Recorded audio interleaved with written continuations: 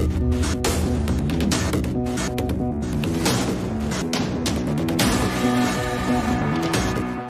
दिनों Indian cricketer Jasprit Bumrah की TV presenter Sanjana गनीसन से शादी के खूब चर्चे हैं। ताहम बुमराह पहले क्रिकेटर नहीं हैं, जो किसी स्पोर्ट्स एंकर को अपनी अहलिया बना रहे हैं। आइए हम आपको चंद ऐसे इंटरनेशनल क्रिकेटर्स के बारे में बताते हैं, जिन्होंने स्पोर्ट्स एंकर्स को अपनी घर वालियाँ बना लिया। South African fast bowler Morne Morkel ने ऑस्ट्रेलिया के चैनल 9 की रिपोर्टर रॉस कैली से शादी की। कहा जाता है कि इन दोनों की मुलाकात 2012 में साउथ अफ्रीकन टीम के दौरान ऑस्ट्रेलिया के दौरान हुई और फिर आईपीएल 2014 के दौरान यूएई में मॉर्ने मॉर्कल ने रॉस कैली को प्रपोज कर दिया।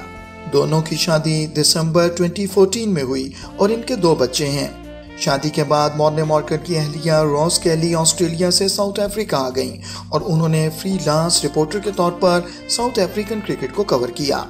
ताहम अब मॉर्ने मॉर्कल और उनकी अहलिया ऑस्ट्रेलिया में जा बसे हैं, जहाँ रॉस कैली ने दोबारा चैनल 9 को ज्वाइन कर लिया है।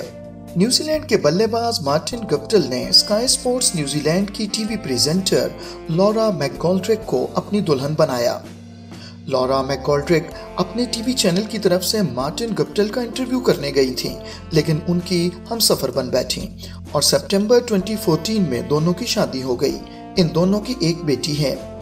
इंडियन ऑलराउंडर स्टुअर्ट बेनी ने स्पोर्ट्स एंकर मायांती लैंगर से शादी की।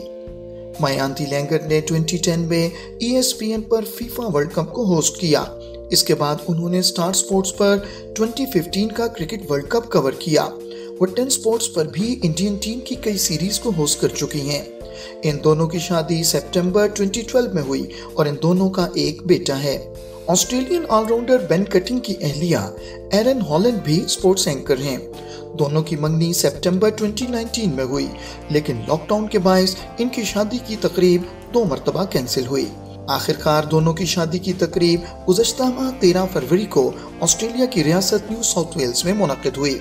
ऑस्ट्रेलियन क्रिकेटर शेन वॉटसन और TV sports presenter Lee Furlong की शादी जून 2010 में हुई।